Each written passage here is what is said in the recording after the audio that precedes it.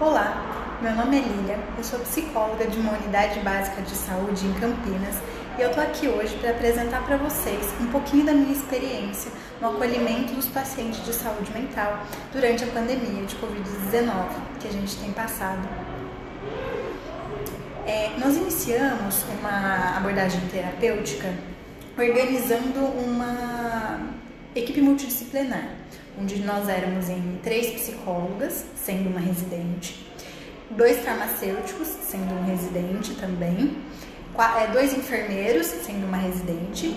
quatro agentes de saúde e um auxiliar de enfermagem. É, dentro desse trabalho, nós selecionamos os, os, usuários que faziam retirada de medicamento é, pelo sistema da farmácia e aí passamos a fazer atendimentos é, para eles por telefone, é, um acolhimento, ligações, teleatendimentos via telefone. A equipe também pôde se reunir semanalmente na escola, fora da unidade, que ficou numa unidade anexa, é, para discutir os casos é, outras abordagens, né, estratégias de como abordar esses pacientes, modo de atendê-los durante esse período de isolamento social. Esse primeiro piloto deu origem para vários desdobramentos e eu vou falar um pouquinho para vocês alguns que a gente tem estudado e tem pensado em como fazer efetivamente acontecer na equipe é, alguns dos desdobramentos, né? Um deles, por exemplo, é um grupo de acolhimento via Google Meet, que as residentes principalmente vão fazer funcionar, mas junto com as psicólogas e outras pessoas da equipe, é, para facilitar a troca, né, entre os usuários desse momento tão peculiar que tem acontecido e que nós estamos vivendo.